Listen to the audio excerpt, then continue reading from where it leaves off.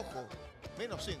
Vamos con el compacto, lo Vamos, estamos dale. viendo, lo estamos revisando. Dale, José, ahí la está. apertura de la cuenta, ahí está Bielkevich, minuto 6, el centro del jugador Ambiao y el golpe de cabeza del goleador, que la que le dejaron adentro. Celebró Sorno desde el minuto 6, que la postre sería la jugada que le dio el triunfo y tres puntos para el equipo de Osorno. Ya vamos a empezar a ordenar la tabla también.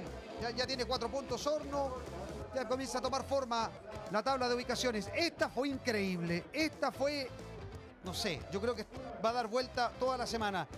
La de Sáez, le que solo, solo frente a Catalán y, y le pegó mal. Acá la vuelta, otro tira desde afuera. Farías también ganando la línea de fondo. Cerradito. Uh, se escuchó. Otra de Osorno, otra de Pessoa. Y muy bien Viana. Así terminó la primera etapa. Así terminó el primer tiempo. Segunda etapa de este juego. A la velocidad del rayo y de la luz estamos revisando las mejores acciones de este 1-0 favorable para Osorno. Esta fue muy buena también. Fantasmal aparición de González por la espalda.